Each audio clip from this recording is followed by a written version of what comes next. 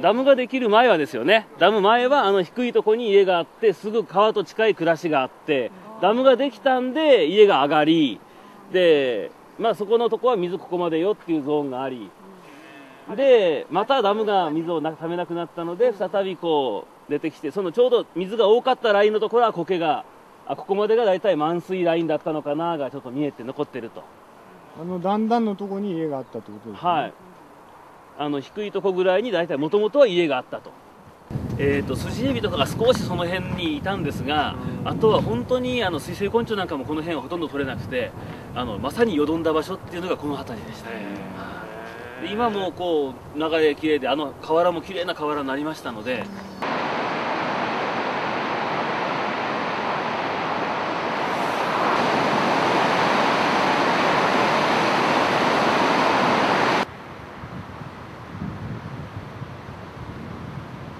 ダムが開く前っていうのはここら辺はほとんど水がなかったっていう感じで。その頃がこんな感じだったんですよ。一つだけ開いてるけれども。みんな閉まってて、うん、でほとんど水がないっていう感じで。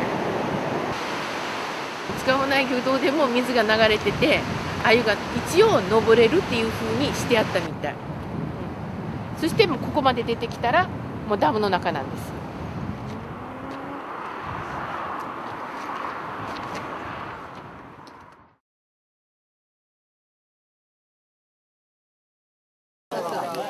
食べてください。カメラマンさんも食べてください。これあの鹿刺しの醤油の生姜はどこ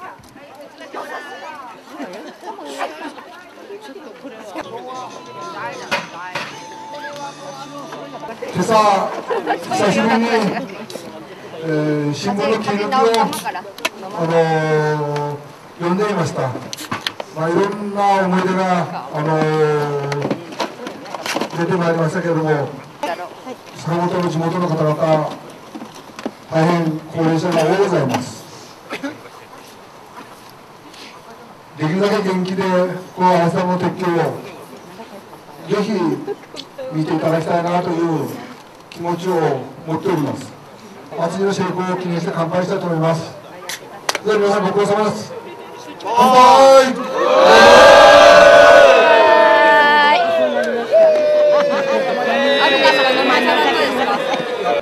昔子供の頃とかね、はい、ダムができる前のはと今はどう違うんですか？それはそれは私の印象に残ってるのはですね昔の私が小さい時の球磨川の鮎は何億丁おりましたからとってもとっ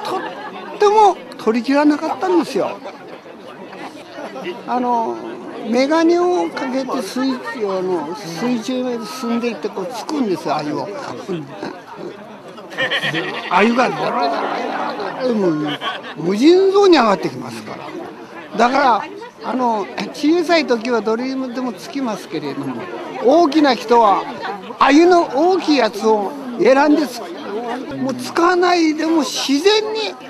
針に引っかかってくるんですよ。現状いかがでしょう？どうでしょう？眼鏡積んでいっても一匹もいません。何がダムができて大きく変わった点なんですか？それは球磨川の形態。形態と言いますといわゆる川が変わったと自然が変わったと言いますのが第一に一番目に見えるのは水が腐食してしまうんですね嵐ダムの発電所がございます。それから流れてくる水が茶角色お茶の濁ったやつが泡吹いて水が流れてくる。いわゆる昔の自然の川と全く変わった。もうとにかく水がもう鮮明度は全然ないんですから。住民が一つになれた最大の理由って何だと思いますみんなが球磨川が好きだというそう。熊熊川が、えー、私たちのふるさとのの大元を作ってるということ。それをみんなみんな熊川が好きだしあの白縫会が好きだということ。もうそのその一言につきますよ。ダムができて何が変わっちゃったんですか川が汚くなって海が汚くなった。うん、それそれだけ100回やって一理なし。これ全部外れちゃった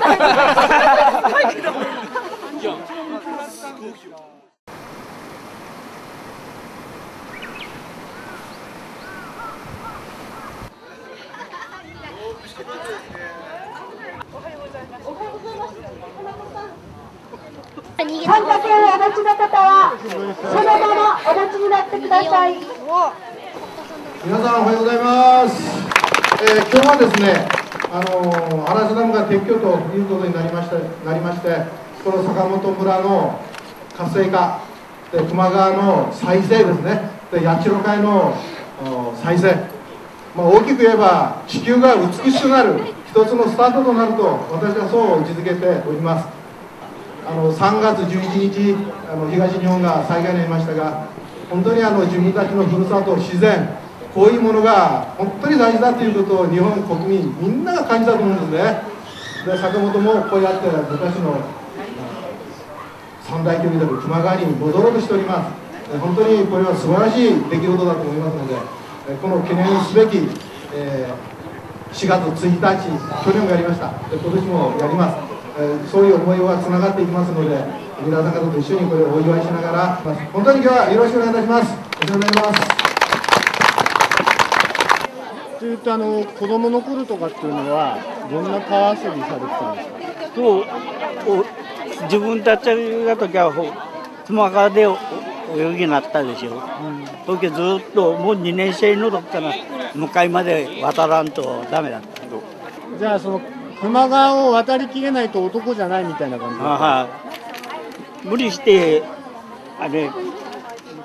先輩が連れて行きよったわけですよ、へーいなこれも和島さんが作ったんですか？どこら辺で？私が蒸してこれ何キロぐらいなんですかこれ？40キロ。40キロ。40キロ。かなり大も大物。まあですね。丸の40キロところすごいですね。ゲートが開放されて川がどう変わったかっていうのをちょっと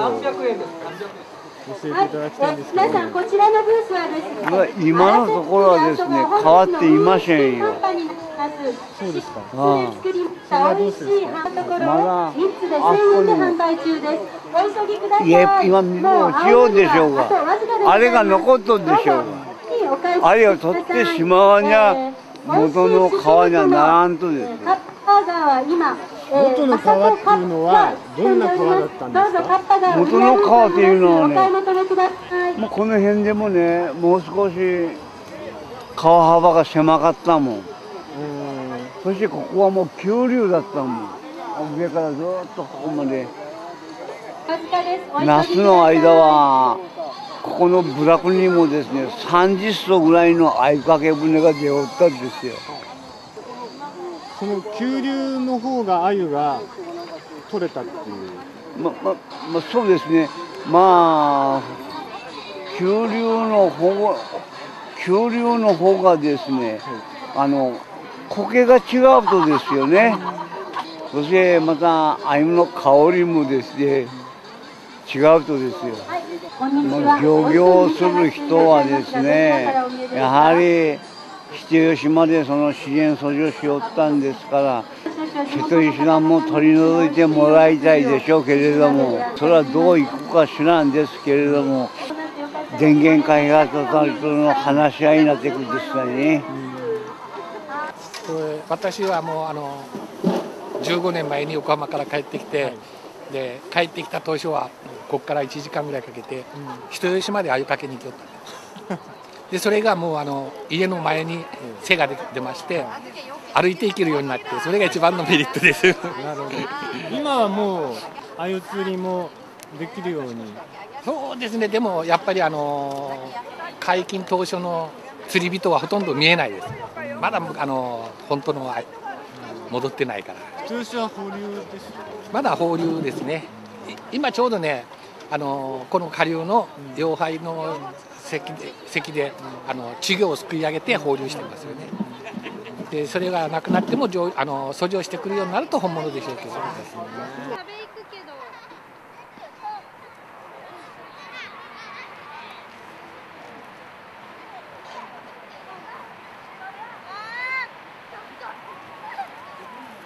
我々はやっぱりその、まあ、撤去してもらいたいという、まあ、それは作られてこう50年という歴史の中で、まあ、いわゆる身をもって感じたものですよね。でダムを作ったことによって水害が、えー、予期しないような水害が発生するしその水害によっていまだかって経験したことのない、えー、損失は被るということで要は害はあっても利はなしということですよね。あのヘドロっておっしゃいましたけど、うん、どのくらい水は汚くなっちゃったんですか？えそうですね。あのまず一言に言って。えー、この川の水はあの生活用水として利用できとったのが全く飲める状態生活飲める状態でなくなったという前は飲んでたんえー、貧乏な村の時代はですね川の水あたりを生活用水として確保するためにはできるだけ川の近くでないとえー、困るわけですね。いわゆる人力でそれをあの確保せならなんから。だから今度はそそういう恵みを受ける一方川の近くであるがためにちょっと雨が降ると冠水という、えーえー、負の部分も、えー、受けなならないということがあったんですね。なのになんでそういうところに人が好んで人家が増えていったかということですよね。それはやはりやっぱそのそういう負の問題よりも逆に利の問題が大きいということをはっきり知ってるからなんですよね。やらせたらな。それでも陽性の人は始め始めたもん。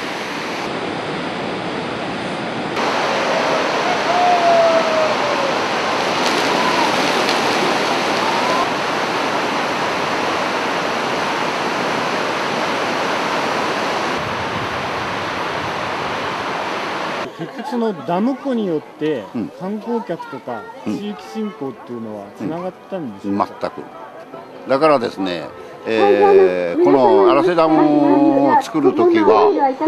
まああのー、これは県営だから県の方からの説明ではこれをすることによってあの地域に電気代も大幅に安く供給できますよと。あるいはダム湖の上は大きな観光資源になりますよと。年に2回3回冠水しておった地域もですねそういう問題もなくなりますよというのが、えー、作る時の、えー、大きな売りだったんですよね。ところが作ってみると全くそういうのは何もなく、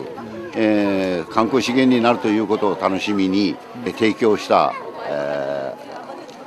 畑。等のいわゆる保証金それに自分の資産を山あたりの資産を売却して、え観光資源ににしようとしてその、えー、屋形船を作ったり観光船を作ったり、えー、温泉旅館を作ったりしたけどもそれは数年でもうダメになってそう財産を潰してという人はもう何人もおるわけですよね。民主党政権になりまして大型ダムのね見直しを掲げられてそれが大あの前前原大臣ですか？彼が就任早々ヤンバと川上ダム中止を発表されてそれ以来、まあ、全国のダムの見直し83の見直しが始まったわけですね。しかし中でも今もう5人ですか？大臣が変わりましたがやはり今の政府国土交通省はやはりダムを作るとやはり推進するという意識は全然変わっていないわけですね。ですからまあヤンバダムでは再開という結論を出してね、あれだけ反対があるにもかかわらず着水されると、まあ、しかし幸い壁川ダムについてはね、えー、ダム撤去の方向でダムやらない水対策が流域の住民も含めて今進んでるわけで。難波でできなくてどうして川川はとりあえず話し合いがうまく機能してるんでしょうか、それまでやっぱり一番苦しいのはやっぱりその五木の皆さん、あるいはその流域の皆さん、ものすごく葛藤ありました、ね、反対賛成の。しかしそれにもかかわらず、やっぱり、えー、清流、球磨川をなんとかね、取り返したいという世論をね、やっぱり県民全体に起こした、起こし得た住民運動、それがやっぱり、えー、あったからこそ、そのやんばと違うんじゃないかと。